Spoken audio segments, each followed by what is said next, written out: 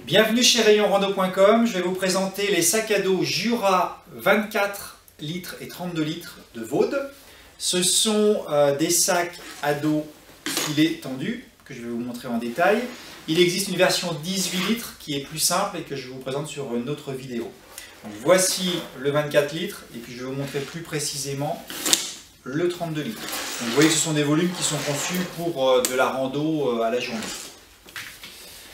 Caractéristique intéressante de ces sacs, c'est qu'on est sur un sac à dos qui est léger, euh, mais avec un vrai dos. Donc on est quand même sur un bon dos filé, vous voyez qu'il est bien structuré, avec une bonne, euh, une bonne ventilation.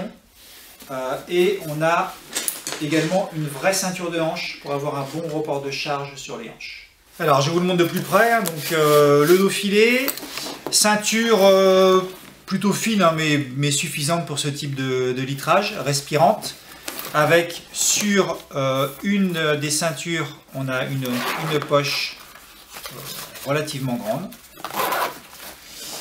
Les bretelles sont également euh, suffisamment rembourrées pour ce type de modèle. Donc on retrouve bien sûr la sangle de poitrine qui se règle en hauteur. Et puis ensuite, côté euh, équipement, c'est là aussi que le sac est intéressant parce qu'on a quand même pas mal d'équipements. Donc on a une housse de pluie intégrée qui est euh, amovible. Euh, on a côté poche, sur le côté c'est pas mal parce qu'on a à la fois une poche ouverte où on peut mettre une gourde par exemple et on a en plus une poche zippée. Euh, donc c'est quand, même, euh, quand même intéressant et on retrouve cette même caractéristique de l'autre côté. Donc c'est plutôt bien équipé pour un sac léger. Ensuite sur le rabat, on va retrouver une euh, poche zippée également avec un petit, un petit porte-clés pour pouvoir ranger, ses affaires. Et puis on a enfin le compartiment principal. Alors, pas de poche zippée supplémentaire à l'intérieur compartiment principal avec euh, une petite réhausse, on va dire, euh, voilà, qui permet de ranger quand même pas mal d'affaires, euh, et également la poche à eau si besoin. Alors pour terminer, je vous le montre porté pour que vous vous rendiez compte.